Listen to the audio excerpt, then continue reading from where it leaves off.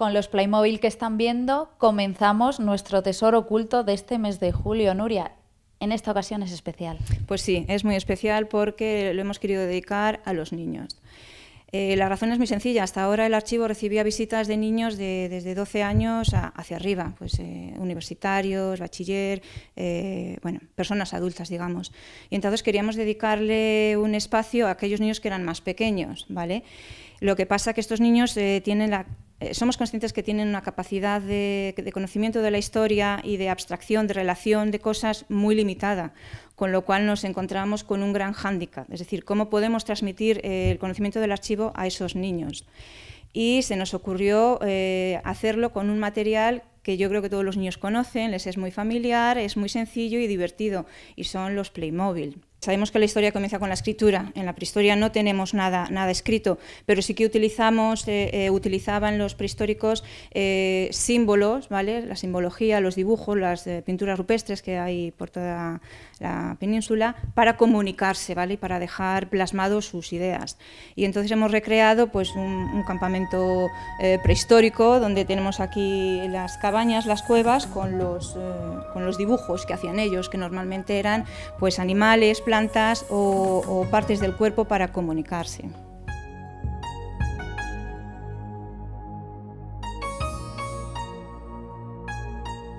A lo largo de toda la exposición vamos a ver eh, los distintos tipos de soporte, porque nosotros los archiveros trabajamos con los soportes de los documentos. Entonces queremos, hemos enfocado este proyecto eh, como una evolución de los soportes y también de la escritura que evoluciona a lo largo de toda la historia. Con todo este material hemos querido que lo que le estamos contando eh, lo puedan tocar. Van a tocar pergamino, el papiro, tablillas de cera. Bueno, lo vamos a ir viendo. ¿Qué encontramos en esta segunda parada? Bueno, pues en esta segunda parada encontramos a, Egipto. ¿vale? Los niños van a ver la pirámide que conocen y sobre esa pirámide, como te he dicho antes, vamos a, incluir más conocimiento.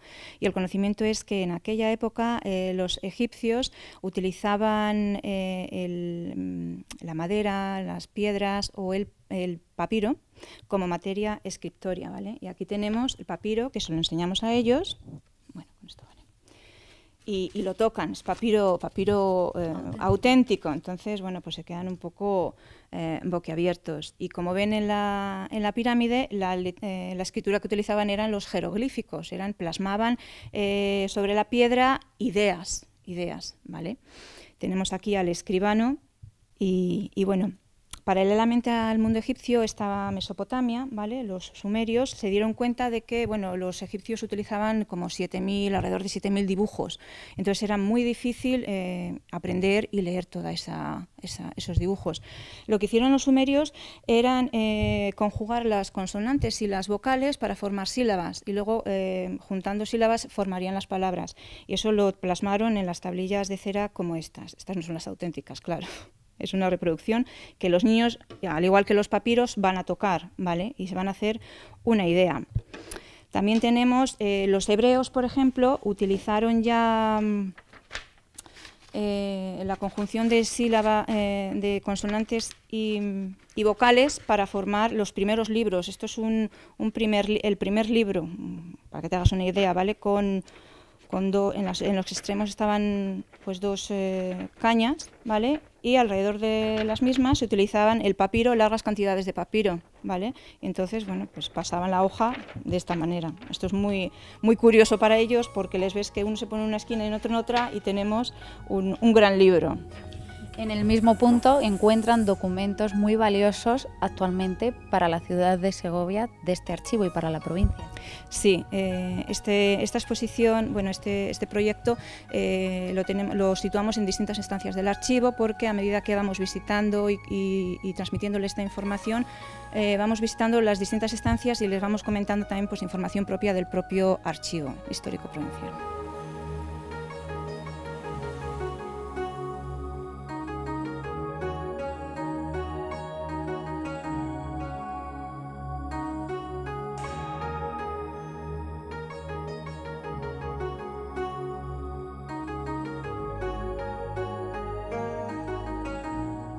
Grecia y Roma, ¿qué les contáis a los más pequeños?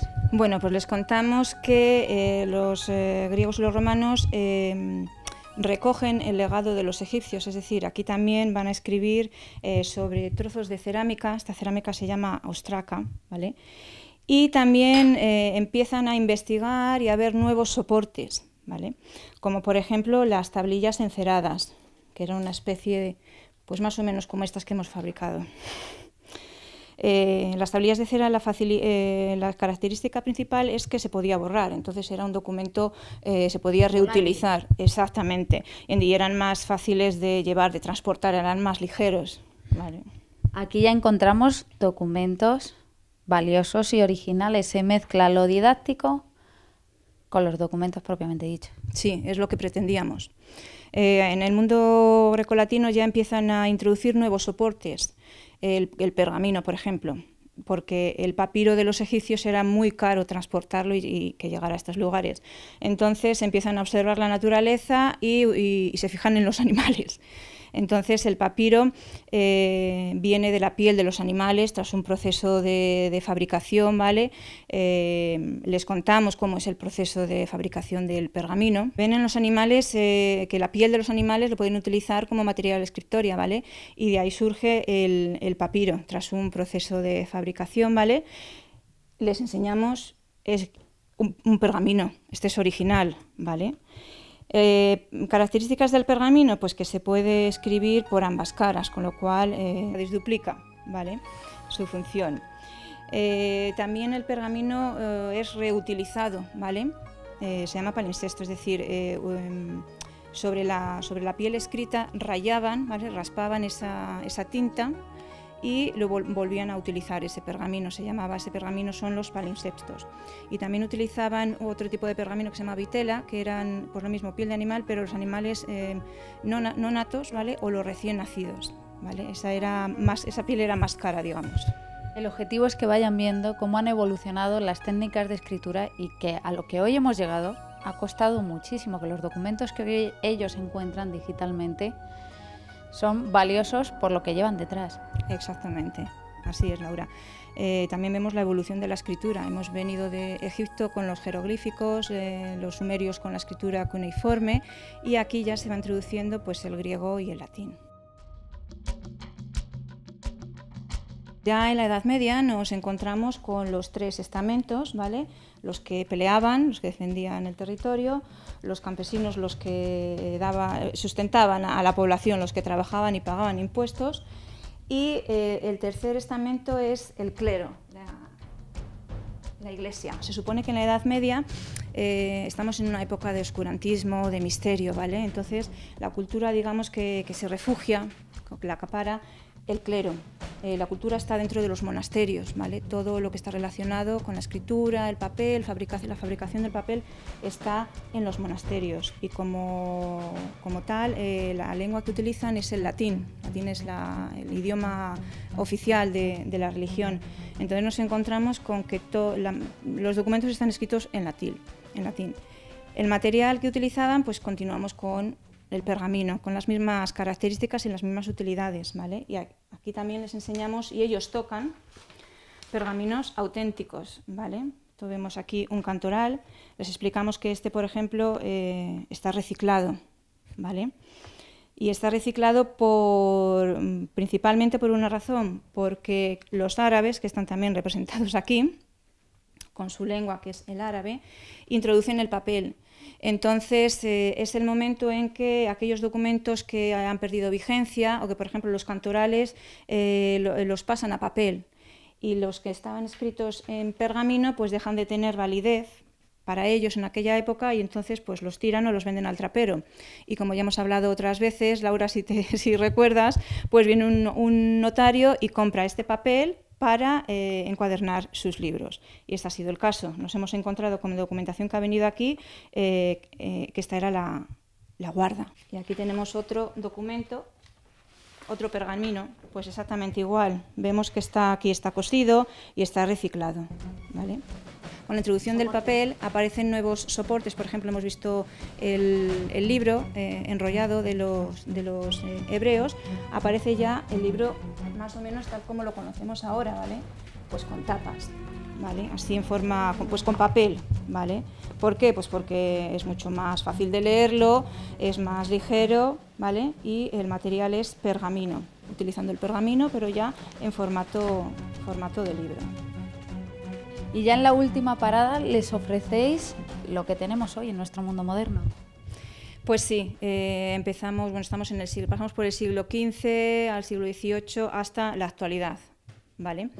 Y entonces del siglo XV tenemos eh, la carabela de Colón, ¿vale? Cuando descubrimos Colón, pues hay que establecer allí también unas oficinas administrativas y nos tenemos que comunicar.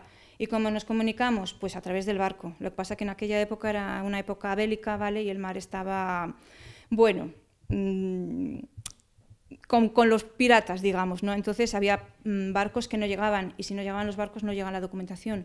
Entonces lo que se hizo era que se mandaban en cinco barcos el mismo documento, lo que se llamó eh, los cinco originales. Alguno llegaría. Entonces la mayoría de la documentación eh, americana está en el Archivo General de Indias y sí que allí se han encontrado eh, duplicados los documentos y es por esta razón, por, por los cinco originales, ¿vale? En esta época también seguimos con el pergamino, ¿vale? Y pasamos al siglo, el siglo XVIII exactamente igual, seguimos con el pergamino, el papel, dependiendo de lo que el usuario quisiera, ¿vale? pues se podía hacer documentos en pergamino, que eran más, más, más valiosos, o, o en papel.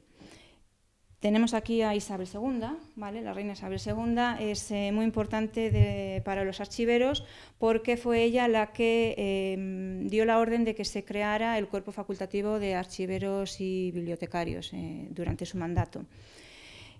Y llegamos a, la actualidad, ¿vale? a, a las oficinas administrativas actuales donde tenemos aquí, por ejemplo, a, la, bueno, pues a esta funcionaria con el ordenador. ¿vale? Ya seguimos utilizando el ordenador, pero también eh, vamos introduciendo eh, el documento electrónico con la administración electrónica, que es con la que nos estamos peleando actualmente.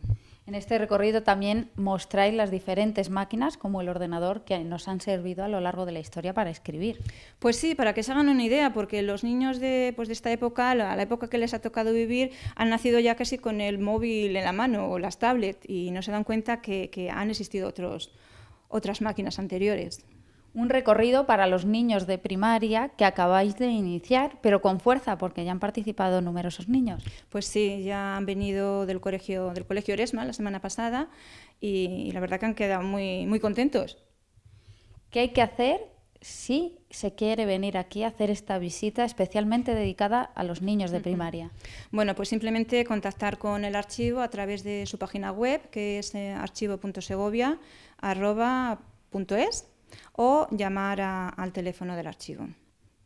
Pues Nuria, nosotros así nos despedimos. Ya sí, volvemos en el mes de septiembre. Te dejamos un mesecito de descanso para preparar la siguiente sección. Muchísimas gracias. A vosotros, gracias.